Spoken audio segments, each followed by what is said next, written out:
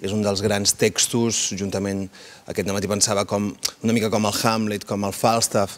El que té més atractiu, o de les coses atractives i que l'han fet portar fins, l'han arribat fins ara i segueix sent apassionant aquest personatge, és aquesta, aquest festival de teatre que resulta eh, d'aquest personatge. No només és un personatge complex, una dona del seu temps, sinó que, a més a més, eh, està revestit d'una pàtina que, que el fa i l'ensenya en el públic i, això passa a ser un, un, una mena de festival absolutament teatral i absolutament de joc.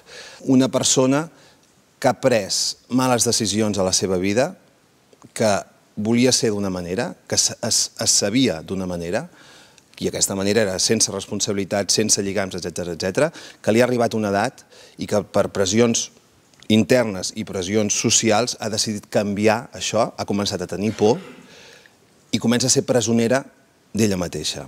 Aquesta, aquesta pàtina social que té l'obra l'hem intentat eh, polir molt per aconseguir una cosa bàsica, que és que finalment el subtext de l'obra d'Ibsen passa a ser text.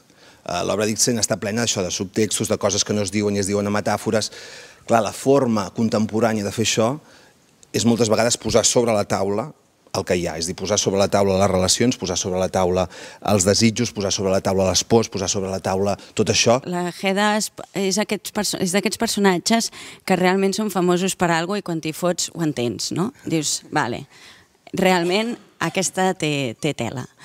Um, hi ha una part que és un personatge que és molt complex i hi ha una part que jo crec que és expressament feta per Ibsen, que és no això, li farem tenir rampells, li farem que no l'acabem d'entendre.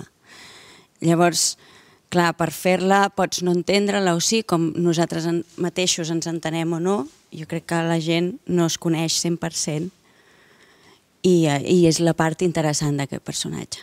Va sobre la corda fluixa constantment, està, està com, com a la corda fluixa de la seva pròpia vida i això fa que faci coses uh, una mica inexplicables, no? Va a tope, va, posa això, fa accions que és com o esto o nada i no li acostumen a sortir gaire bé.